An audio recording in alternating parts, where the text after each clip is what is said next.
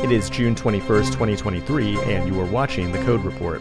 The other day, I was doing some modern programming by having ChatGPT do all the work for me, but it kept complaining that it failed to scrape Stack Overflow to get the latest answers. This forced me to go and use the actual website like some sort of caveman, but in doing so, I discovered that the 2023 Stack Overflow survey results are in. Over 90,000 developers filled it out, and the findings are encouraging, terrifying, and just plain weird. First up, let's find out if you actually need a degree to become a professional developer. My bootcamp told me I could make six figures years after six weeks of JavaScript training, but in real life, it looks like 75% of professional developers have a degree. That's an overwhelming majority, but it's still impressive that a non-trivial number of people can get into this field without a degree. Like, you don't see a lot of self-taught brain surgeons landing a job straight out of bootcamp, but in some cases, programmers can make as much as surgeons. You just have to learn the right programming language. According to the survey, you definitely shouldn't learn PHP or Dart, unless you want to be poor. You'll actually make way more money as an HTML programmer, because it's a far superior programming language. At the very top of the salary salary tier though, we have Zig, a modern low-level language that I'll make a video about soon, but keep in mind this data is a bit skewed because there's only three or four paid Zig programmers in the world. And the same goes for Erlang and F Sharp. The highest paid in-demand language is surprisingly Ruby, and almost every language on this chart had a salary increase of 10% or more from last year, almost enough to make a dent in the raging inflation that made us all way poorer over the last few years. A few languages though experience salary declines, and even the highly popular Rust is down 35 bucks. And speaking of Rust, let's now look at some of the most popular popular technologies. JavaScript is the king when it comes to actual usage, but which languages do people actually admire and desire? What you're looking at here is a new chart on the survey that replaces the loved and dreaded chart on previous Stack Overflow surveys. When you have a red dot far to the right, it means the language is highly loved by people who actually use it. When you have a blue dot far to the right, it means it's highly desired by people who haven't used it, or in other words, it's hyped up. Rust is by far the most admired at 85%, but there's been a lot of political drama in the Rust ecosystem recently, and it'll be interesting to see if that number declines next next year. Other standout languages include Elixir and Zig, while the most hated languages are MATLAB and COBOL. Of the highly desired languages, PHP was the least admired, which is surprising because they give out free Lambos. When it comes to cloud platforms, AWS dominates, but Hetzner, a German company, is the most admired. What's interesting though is that people now absolutely hate Heroku. I think the lesson to be learned here is to never get rid of your free tier. When it comes to JavaScript frameworks, React gets most of the action, but Svelte is the most beautiful. I concur, and if you want to learn Svelte, my full course will be out next week week for Fireship Pro members. It's also worth pointing out that newer frameworks like Qwik and Solid are also highly admired. When it comes to full stack meta frameworks, Next.js is dominant, but currently people on tech Twitter are revolting against the app directory, which might affect its ranking next year. I don't think it'll get anywhere near as bad as Gatsby though, which is still very much hated even though it was acquired by Netlify last year. When it comes to non-JavaScript frameworks, Phoenix, which is based on the Elixir language, is well above everything else. Now in other tools, the mobile app framework Tauri, which is based on Rust, is by far the most admired but Flutter is the most desired mobile app framework, even more so than React Native now. Moving on to IDEs, VS Code dominates our desires, but NeoVim is the most admired. And it's a great editor if you love to configure things so you never have to actually build anything. It doesn't matter though, because AI will soon be doing all the building anyway. ChatGPT is the most admired and desired LLM, and same goes for GitHub Copilot, which itself is based on the same models as ChatGPT. But surprisingly, nearly 30% of developers plan on never using AI at all. And another crazy stat is that only 16% of people now work work in person full time. Almost everyone is either remote or hybrid remote, despite all the articles you read about people being called back to the office. Okay, so that was a lot of data to process, but I want to finish off with a piece of data that reveals the secret to making more money as a programmer. A full stack developer in India makes about 17k per year. In Germany, it goes up to 69k. In the UK, it goes up to 74k. In Canada, you're looking at 81k. But in the United States of America, it almost doubles to 140k. If you want to make more money, just respawn in America next time. This has been the Code Report. Thanks for watching watching, and I will see you in the next one.